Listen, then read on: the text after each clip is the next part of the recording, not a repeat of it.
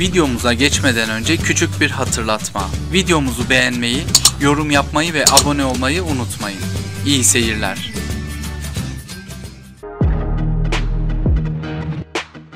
Şeyma Subaşı'ndan sadece yatakta iyi olduğun için bugünlere geldin diyen takipçisine yanıt.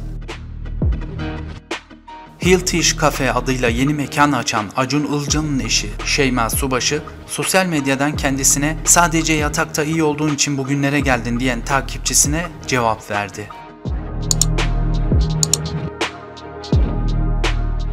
Şeyma Subaşı geçtiğimiz günlerde açılışını yaptığı kafesi Hilltish'in mutfağına girerek kendine içecek hazırladı. Subaşı mutfaktaki telaşesini de sosyal medyadan paylaşmayı ihmal etmedi. Kendine içecek hazırladı.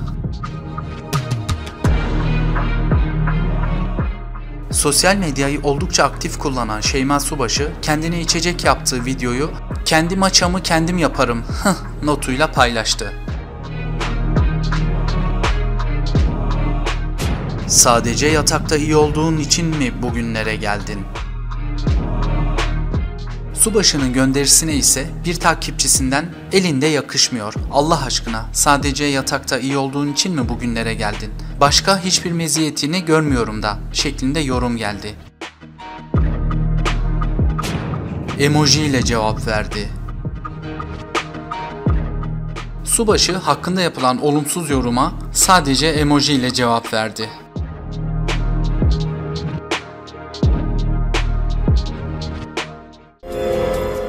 Bu tür videoları izlemek için kanalımıza abone olmayı unutmayın. Yeni bir videoda görüşene kadar iyi seyirler.